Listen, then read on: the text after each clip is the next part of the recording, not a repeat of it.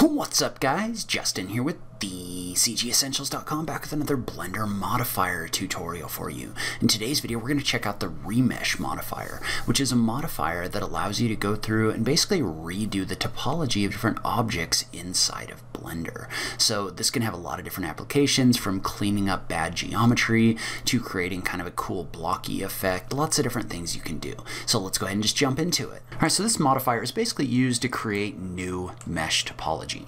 And so what that means is that means means that it comes in here and it's going to change the different parts and pieces that make up your different models and it's going to basically redo them. Um, it's going to redo all of the faces and edges in here um, to try to give you kind of a quad topology or quad geometry. And so there's really three options that are contained inside of this modifier. So if we go into the modifier settings, it's actually four. So um, if we go into the modifier settings and we were to add a remesh modifier, so let's start with the first one. So you might notice you get this kind of like weird effect when you first start off. So basically what this is doing is this is going through and it's using math um, from your original geometry right here to try to break this up into different quads. So it's trying to use a mathematical function in order to break this up into quad style geometry. And so there's a few different options in here that you can adjust for the way that it does this. So you can see how there's options for blocks, smooth, sharp, and voxel. So let's start with the blocks. So with the blocks, basically what this is doing, and we're going to turn the octree depth up a little bit, but basically what this is doing is this is coming through here and it's really trying to, it's really trying to take that geometry and break it up into blocks. So if you look at this, you can see how these are actually made up of blocks now, as opposed to the geometry that we had in there before. And you can adjust the resolution and depth at which this does this by adjusting the octree depth function. Note that as you start dragging this higher, um, so if I go up to 8 or 9, um, it really starts to kind of affect your performance, so just be a little bit careful in there. But see how you can use this in order to take your geometry and remesh it into blocks. And so usually you use the octree depth in order to set the resolution, and then you use the scale in order to kind of fine tune that. So notice how I can drag the scale left or right, and I'm going to bring this down maybe back to 7 or something like that. But notice how you can drag the scale from left to right to adjust the size of those blocks as well. So you can see how the lower values are going to give you bigger blocks, the higher values are going to give you smaller blocks. And you can only drag this up to 0.99. Um, it doesn't go any higher than that. So if you tried to enter a value of 1, it's not going to work. So the other thing you might know is my model's currently being cut off right here around the ears. That's because we have the option in here for remove disconnected checked. So when you check the box for remove disconnected, basically what that means is that means it's going to remove things that aren't really connected in your model anymore. So notice how if I check this box, it's going to remove these. And really that's because these are only diagonally touching and they don't actually have faces on faces in here. So you can adjust the threshold at which those things are removed by using this little little slider down below. But usually that's going to be used to remove isolated parts of the mesh. And then smooth shading, that's just going to come in here and instead of using the harsh shading, it's going to do the smooth shading, same as right clicking on this and clicking shade smooth. So that's how you can use the blocks. Um, one other cool thing is let's say you wanted to create an animation where this becomes blocky. You could keyframe your scale for an animation. So I could just click in here to keyframe this.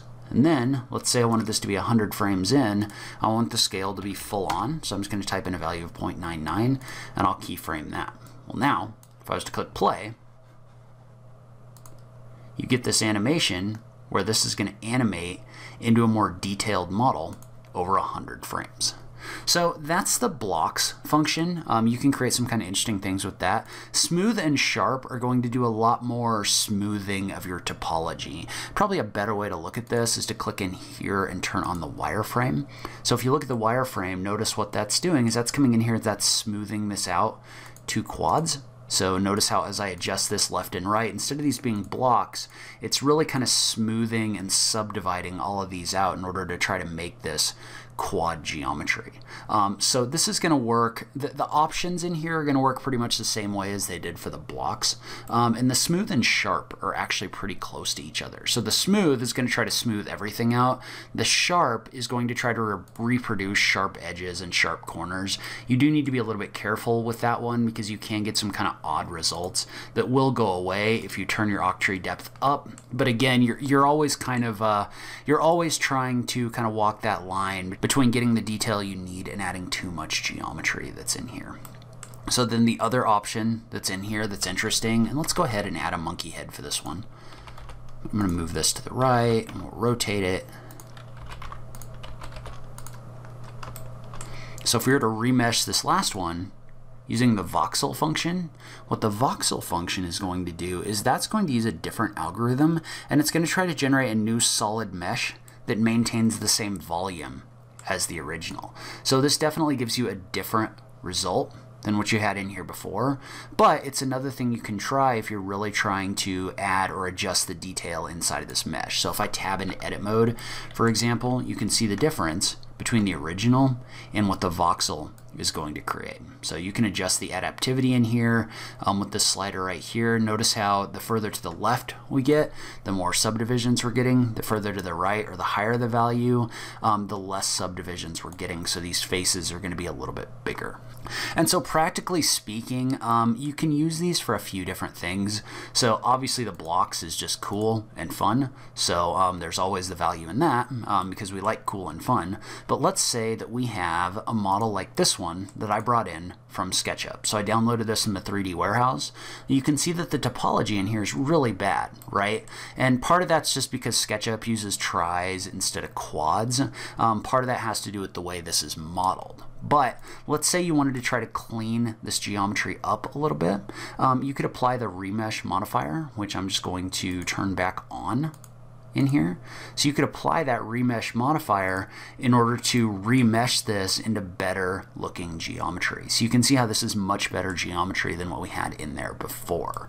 So that's definitely something you could do um, in order to clean up those really nasty models that you import. So I haven't really tested this out, but I'm pretty sure people use the remesh modifier to adjust your meshes for sculpting as well. So you can use that to um, either create detail that you can go in and sculpt, or you can also use that to clean up detail um, that needs a little bit of cleanup after working with sculpting. So another use you you could have for this modifier. So that's where I'm going to end this video. Leave a comment below and let me know what you thought. Have you used this modifier? Do you have some cool ideas for how you could use it? I just love having that conversation with you guys. If you like this video, please remember to click that like button down below. If you're new around here, remember to click that subscribe button for new Blender content every week. If you like what I'm doing on this channel, please consider supporting me on Patreon.